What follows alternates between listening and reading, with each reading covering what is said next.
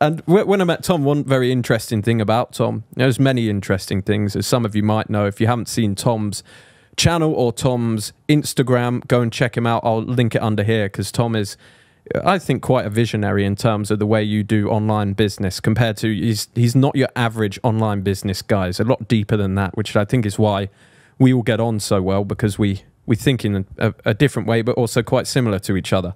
But when I met Tom, one of the fascinating things about Tom was that you m- decided to go sober for how long? So I'd been sober for over a year when I saw you. Um, but yeah, the, the commitment was until I was 30 years old, I was going to leave alcohol. So how close are we now to a bender?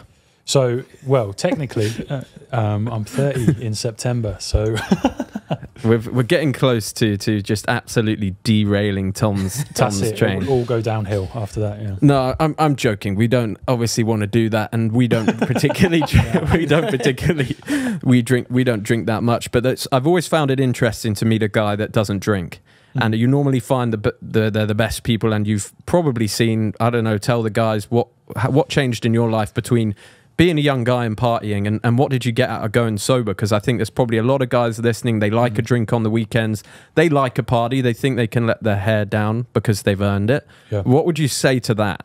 That's um, yeah, and look, alcohol's great fun. Like no one's saying that it's not great fun. And you do some silly things with your mates, you make some great memories, but it starts to kind of weigh at like right, what cost?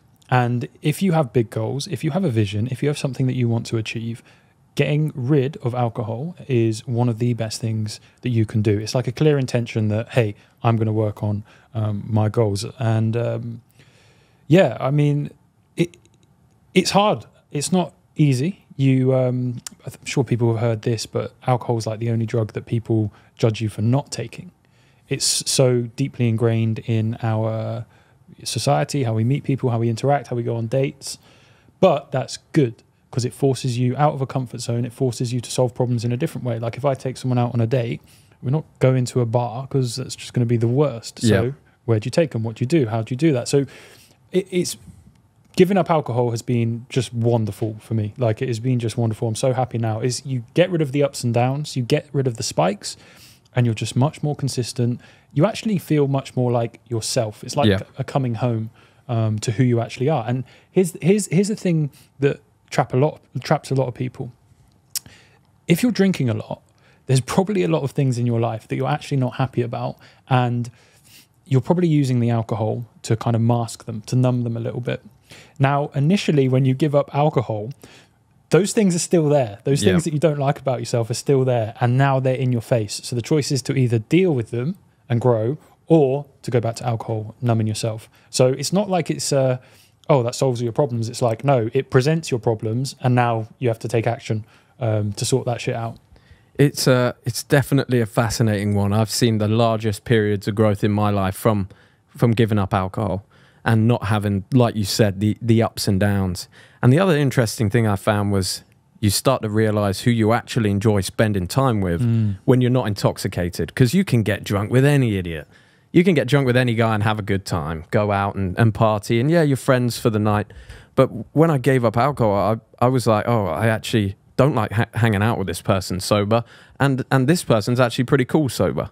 And I found some some major impacts on my life through giving up the booze. To be fair, I've got a question for you Yeah, about go. alcohol.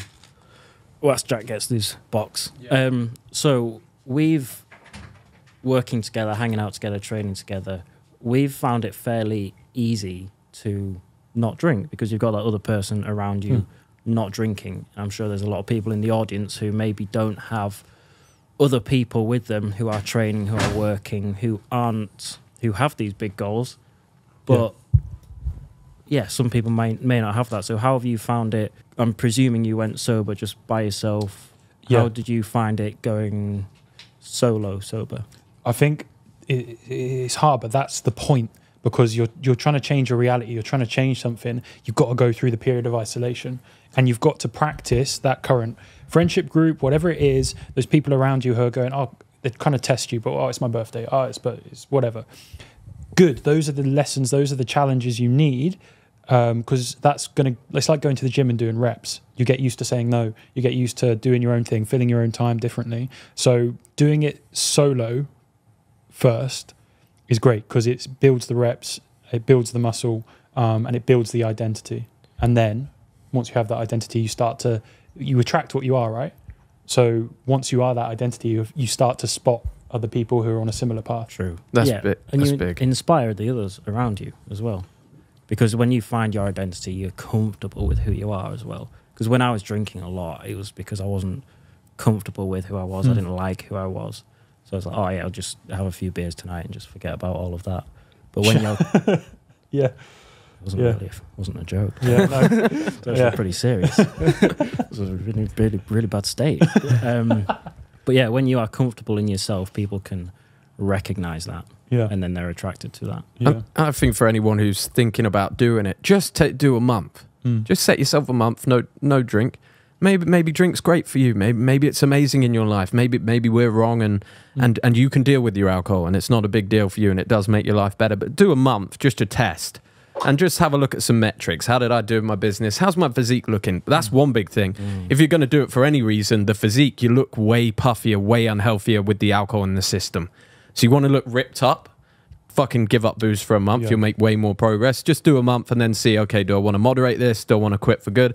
For me personally, I haven't quit for good. I did the whole month for Jan, February, I drank a little bit.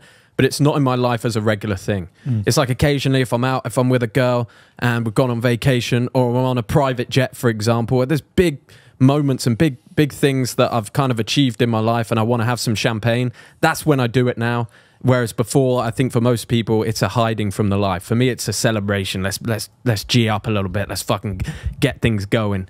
And I like to just only celebrate. And I don't always celebrate with alcohol, but that it's more of a But you've celebration got for data, me. right? You've got data because most people start drinking at 16 and then every other week minimum they're drinking. But Yeah. now by doing a month, doing two months, you actually have data. You actually can make a considered choice because you have the data to make the comparison and go, right, what is better for me? Yeah, test your data. You don't have to be fucking gay about it and and just Oh, you don't have to make it gay, but you can just test your data and look at your life and see if it gets better. And that's what we want. We want lives to get better. We want people to be happier. We want people to give them their best self to the world.